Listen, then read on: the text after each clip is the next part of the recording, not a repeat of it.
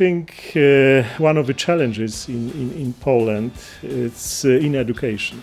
It means that uh, we need to change our uh, way how we teach lawyers, starting from university up to, I would say, postgraduate training programs, in order to get such skills which are helpful in providing um, providing um, uh, the best, most effective advice. A national ambition for a, such big organization like a Polish Bar of Legal Counsel is professionalism. We think that um, promoting best practices, increasing the professionalism, we create not only effective work of in-house counsel, but also we create a modern professional image of uh, internal lawyers.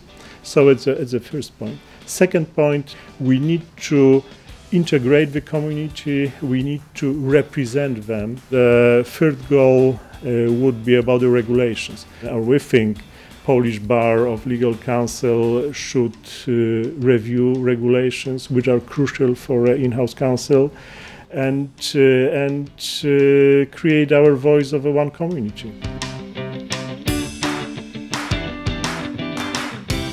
Makes me smile when I'm thinking about um, ECLA because I met so many interesting, nice, inspirational uh, people.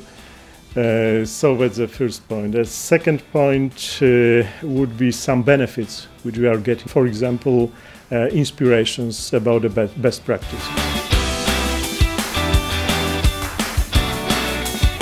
We can be leaders of our organization. We are intellectually capable, we are very well educated, and I think uh, that having such skills, we can be leaders of future in our organization.